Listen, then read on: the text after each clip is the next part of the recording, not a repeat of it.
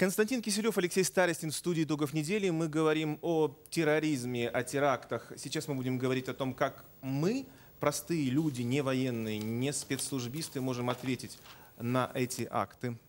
Что мы можем сделать? Мы представители гражданского общества. А, смотрите, когда я в начале эфира говорил про Волгоград, это был 2014 год, Три года прошло с тех пор. Я, мое глубокое убеждение, что люди, вот, которые живут там, в Центральном федеральном округе, в э, Уральском федеральном, в Поволжском, ну, как бы вот в такой центральной России, подзабыли, что такое террористическая угроза и немножко расслабились. На мой взгляд, сейчас э, после питерских событий самое время актуализировать информацию о том, как э, жить в условиях террористической угрозы. Необходимо а провести... как жить? Вот, сейчас э, до этого дойдем. Необходимо провести соответствующие занятия в школах, в университетах, на предприятиях.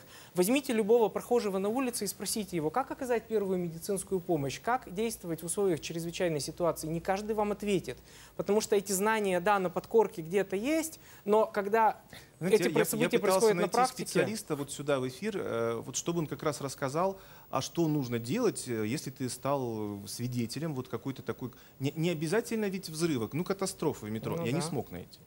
Но есть э, определенный набор правил. Да, вот эти, мы все ездим в общественном транспорте, висят вот эти памятки определенные. В первую очередь... Алексей, что... ну этой серии давайте будем бдительны и обращать внимание на Нет, почему? сумки. Ну, нужно этому научиться заново. Нужно этому обязательно научиться заново, притом не, это, в это не должно быть ли вовлечены это, не широкие есть ли слои это то, чего населения. добиваются террористы, создавая вот такую паничи... Я в детстве боялся атомной войны. Вот я слышал, самолет летит, не дай бог, сбросит атомную бомбу, потому что нам об этом в школе рассказывали. Понимаете, вот, например, есть государство Израиль, достаточно успешное экономически, политически и так далее, которое в условиях этой террористической войны живет. Оно, э, граждане э, к этому привыкли, к сожалению, но они знают, как правильно действовать в той или иной ситуации, как правильно себя вести, куда бежать, какие запасы должны быть и так В далее. государстве Израиль, во-первых, очень много вооруженных солдат, которые там с автоматами ходят на, на побывку. Во-вторых, там просто разрешено огнестрельное оружие, короткоствол, скрыто носимый. И там, э, я, я там могу пристрелить этого террориста. Здесь нет. Вот совершенно верно. То есть мне кажется, что вот Алексей уже стал жертвой террористов. То есть и террористы именно этого добивались. О том, чтобы все боялись, все ходили боялись, все дрожали, все занимались гражданской обороной, все искали бункеры, все, э, все, все дрожали над, над этими памятками, подозревали всех и каждого там и так далее. Именно этого они и добивались. Алексей, вы реально совершенно э, сделали то, что от вас террористы и хотели. Нет. Вы и теперь вы по телевизору пытаетесь всех еще запугать. Давайте бояться, детей будем учить. Этого. Нет, не надо бояться.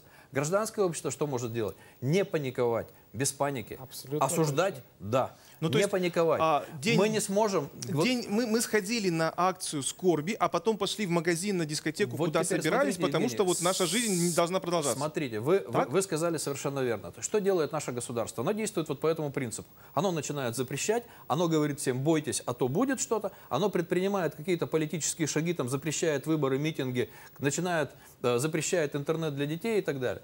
Нужно делать совершенно иное. Нужно для того, чтобы сознательность граждан повышала, вы говорите короткоствол. Окей, отличный способ. Там, где разрешен короткоствол, вы это знаете, Евгений, лучше меня, да? То есть там количество преступлений, и в том числе террористического, и не только террористического характера, оно резко сокращается. Насильственные уличные преступления Оно резко сокращается. Насильственные уличные преступления и расстрелы в школах э, подростков возрастают Оно резко, Не, вот не ничего короткоствол подобного. резко сокращается Не все, все преступления. То есть вот вам э, э, реакция гражданского общества. Если гражданское общество будет спокойно совершенно реагировать и говорить о том, что я ценен, а не государство прежде всего, и будет отвечать на вот эти вызовы, говорить о том, что да, так дайте мне право защищаться, если вы не можете меня защитить. Разрешите короткоствол, дайте больше свободы, дальше, дайте нам право выбирать.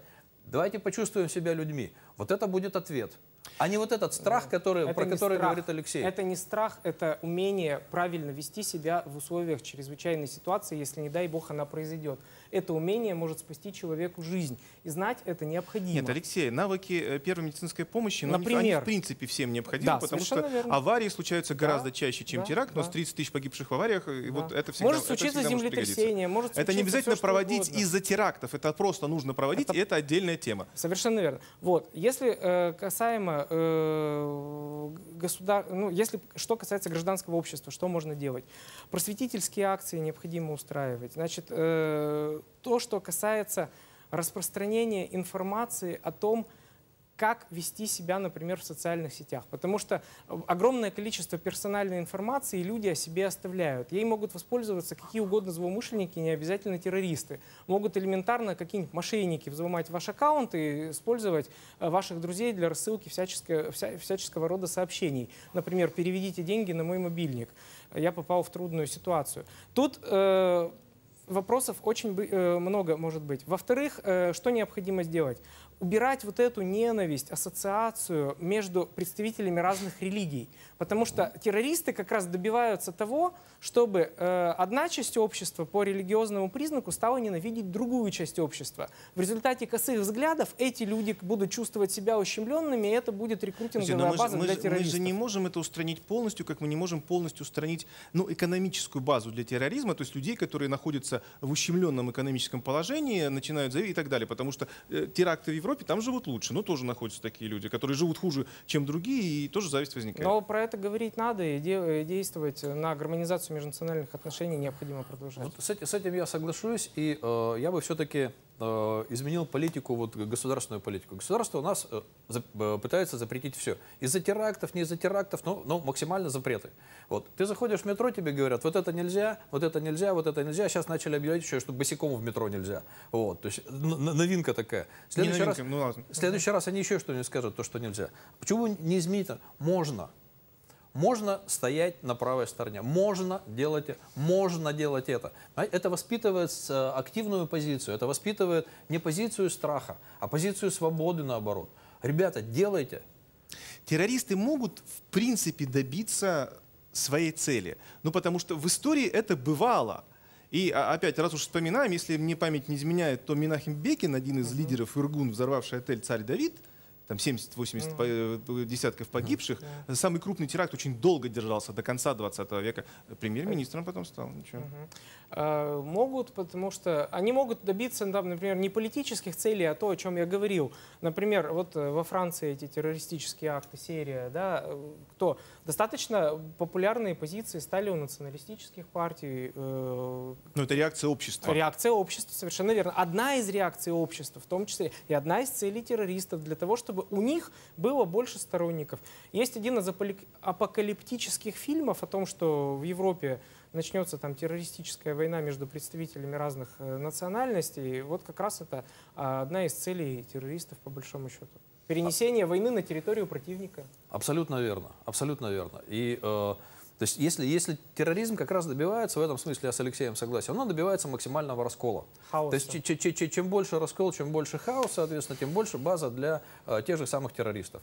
Когда я сегодня вижу, я прошу прощения, реакцию государственной пропаганды, вместо того, чтобы объединять людей, вот э, в том числе на этом примере, да, в том числе там, как бы Беслан был жуткий, то есть жуткая вещь, можно было всю страну объединить, там в едином порыве куда-то. Государство начинает раскалывать. Оно начинает говорить, это вот виноваты там белоленточники, это там вот эти, а вот эти вот по-другому, там, ну и так далее, и так далее. В, и, и в этом смысле государство идет на поводу Все, тогда государство отодвигаем в сторону и в конце уже просто по пунктам, что мы с вами должны делать в этой ситуации. Вот гражданское общество как раз правильно поступило в этот раз. Когда по, госу... ну, по СМИ показали первый раз мужчину в шапочке и с бородой, который э, якобы является подозреваемым, он потом пришел в полицию и сказал, я это не совершал, он потом не смог улететь в Москву, его с работы выгнали, позвонили да, за то, что он так засветился на сайте, э, в группе сайта «Православие и мир» тысячи православных высказались в поддержку этого мусульманина. Сенаторы да. Э, под давлением общественности тоже подняли эту волну. Вот как гражданское общество себя проявило. Абсолютно. Это прекрасно. Хорошо.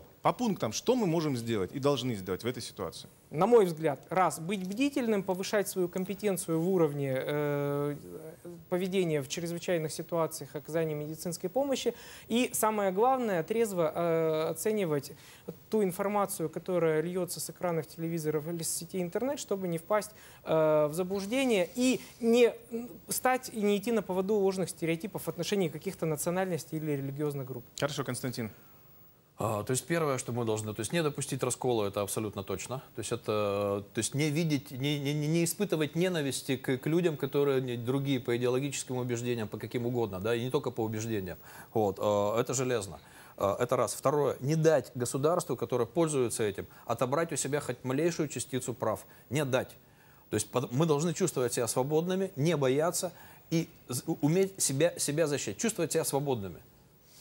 Спасибо большое. На этом итоги подведены. Увидимся в понедельник в программе «Стенд».